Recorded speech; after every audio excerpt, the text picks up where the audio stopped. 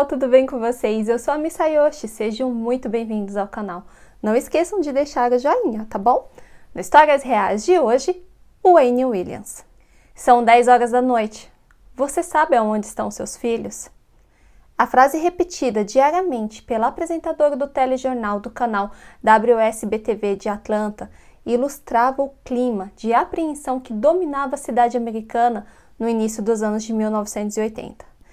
Entre 1979 e 1981, pelo menos 28 jovens negros, a maioria meninos com idade entre 7 e 17 anos, tiveram suas vidas ceifadas. Muitas dessas vítimas desapareciam em plena luz do dia, a caminho de casa, enquanto brincavam, iam para a escola, a todo momento uma criança sumia. Seus corpos eram encontrados semanas depois ou meses depois, abandonados em lixeiras, em rios ou até mesmo embaixo de pontes. Alguns haviam sido tirados do ar até perder a vida, outros foi usada uma faca e em outras vítimas uma arma de fogo. Todas as vítimas tinham sinal de abuso. Essa onda de crianças desaparecendo e sendo encontradas depois sem vida aterrorizou e chamou a atenção nacionalmente para Atlanta. Pais não deixavam mais os filhos brincarem na rua, com medo de que estes fossem as próximas vítimas. Grupos de moradores se reuniram e patrulhavam os bairros armados com bastões de beisebol. Por muito tempo, a polícia não se importou com o que estava acontecendo. Se tratavam de crianças pobres e negras, e não era interesse investigar porque elas estavam sumindo e depois aparecendo sem vida. Não houve investigação, até que a população e também a imprensa começou a pedir e a implorar por justiça e segurança. Aliás, quem estava fazendo isso ainda estava solto e fazendo novas vítimas. A população acreditava que a pessoa que estava cometendo esses atos eram pessoas brancas que não gostavam de pessoas negras. Durante três anos, a polícia investigou dezenas de pessoas. Detetives debatiam se os crimes eram obras de diferentes pessoas ou de um único indivíduo. Com os casos se acumulando e os crimes ganhando manchetes de jornais a cada dia, mais recursos foram empregados na investigação. Em determinado momento, mais de 100 policiais participaram dos trabalhos, além de agentes do FBI enviados até Atlanta. Um perfilador do FBI disse que quem estava fazendo essas atrocidades conhecia muito bem o ambiente, as ruas e possivelmente era jovem e controlador, e que não aceitava sua sexualidade. Artistas como Frank Sinatra e Sammy Davis Jr. realizaram shows na cidade para arrecadar dinheiro para as famílias das vítimas. Foi constituído então uma força-tarefa em 1981. Policiais prenderam um suspeito, Wayne Williams. Wayne Williams nasceu em 27 de maio de 1958 e foi criado no bairro de Dixie Hills, no sudeste de Atlanta, Geórgia, filho de Honor e Faye Williams. Seus pais eram professores e todos gostavam deles ali na comunidade. Wayne se formou e desenvolveu um grande interesse por rádio e jornalismo. Ele construiu sua própria corrente transportadora estação de rádio e começou a frequentar as estações de WGO e WAGK, com radialistas e com produtores. O grande sonho da vida de Wayne era se tornar um produtor de música pop e gerente comercial. Então, estando perto dessas pessoas, ele se sentia melhor e mais perto do seu sonho. Wayne se tornou suspeito, então, na manhã do dia 22 de maio de 1981, quando ele tinha 23 anos. Uma equipe de vigilância da polícia foi colocada para vigiar uma ponte, onde eles já sabiam que o autor jogava os corpos. Então, observando a ponte sobre o rio Chatlort, ouviu um grande e alto splash sugerindo que algo foi jogado do alto da ponte para o rio. O primeiro automóvel que saiu da ponte assim que algo foi jogado foi o carro que pertencia ao Wayne Williams e ele estava dirigindo. Policiais então pararam o carro e começaram a questionar ele do porquê ele estava ali e o que ele estava fazendo. Ele então disse à polícia que ele estava a caminho para verificar um endereço em uma cidade vizinha, antes de ter um teste na manhã seguinte com uma jovem cantora chamada Cheryl Johnson. Esses policiais, eles não revistaram o carro do Wayne e deixaram ele sair. Aliás, os policiais conheciam Wayne ali da região. Quando o detetive-chefe ficou sabendo dessas informações e do que o Wayne tinha dito, ele tentou entrar em contato com a Cheryl e ele descobriu que tanto o telefone quanto o nome dela não existiam. Então ele indagou os policiais: por que não investigaram o carro? Por que deixaram ele sair? E os policiais responderam: Ah, é apenas o Wayne Williams, ele mora aqui perto.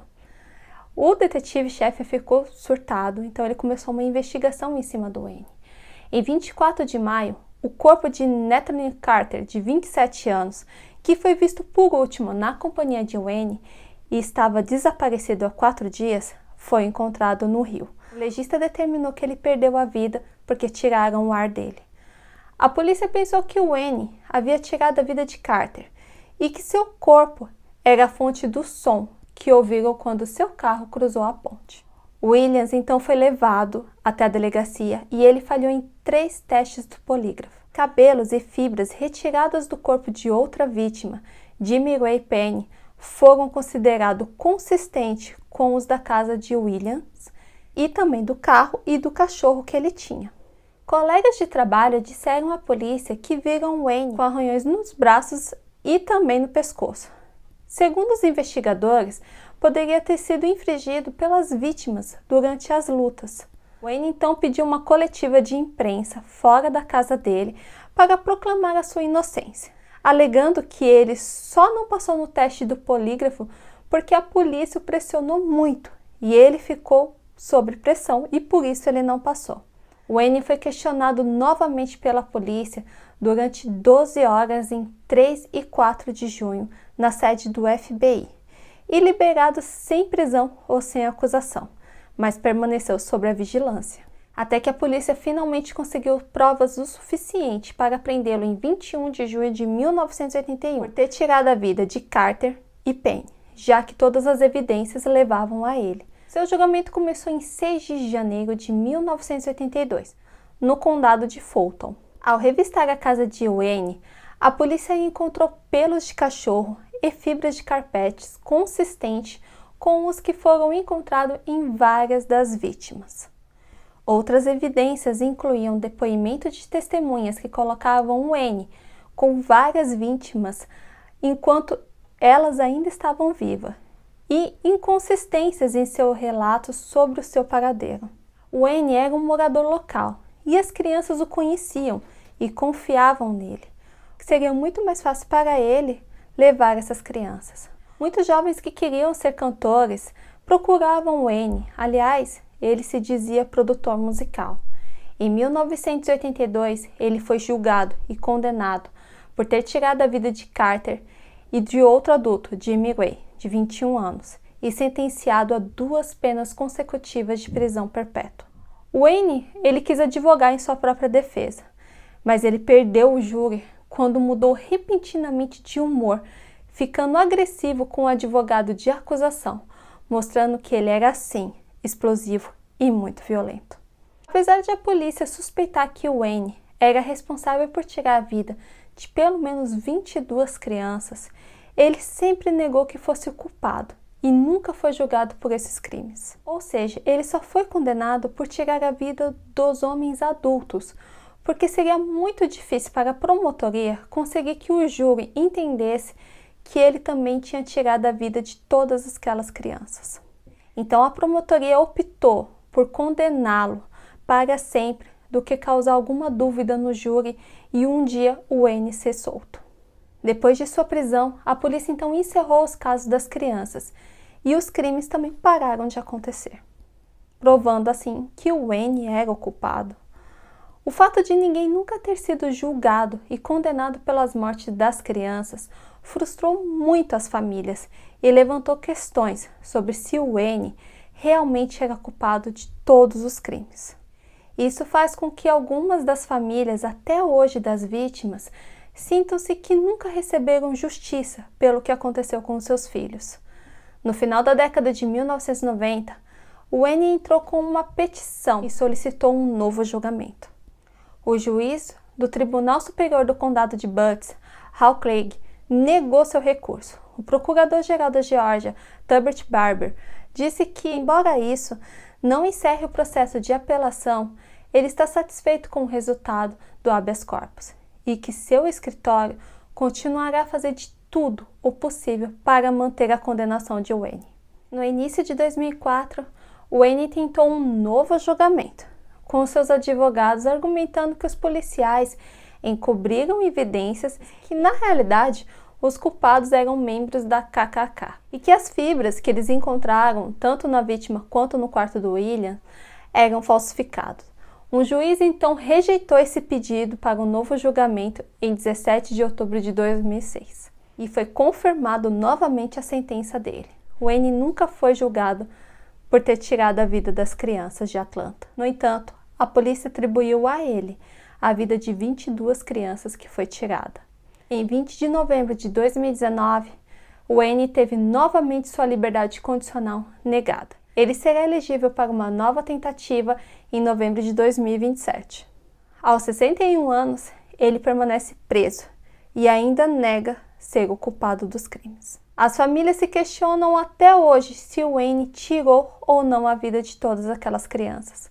Eles acham que um homem negro não faria isso com crianças negras. Mediante as provas e também agora em 2019 foi reaberto o caso tudo leva a crer que o N é sim o causador de todo o mal àquelas crianças. Eu acredito que ele sim tirou a vida de todas elas, porque ele conhecia, as crianças confiavam nele e muitas vezes o procuravam, porque, como eu disse, ele era um produtor musical e elas queriam ser estrelas. Mas essa é só a minha opinião. Eu quero saber a opinião de vocês. Vocês acham que o N é o único culpado, que teve mais culpados ou que pode ser coisa da KKK. Quero saber a opinião de vocês nos comentários, a gente conversa então. Beijão para vocês, até a próxima história.